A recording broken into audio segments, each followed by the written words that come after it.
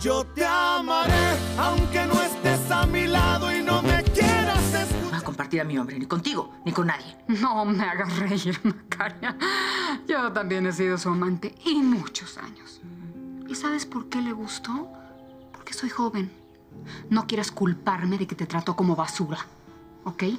Mírate en un espejo, en cualquiera, mírate. Y después, mamacita, me miras a mí. Y no compares.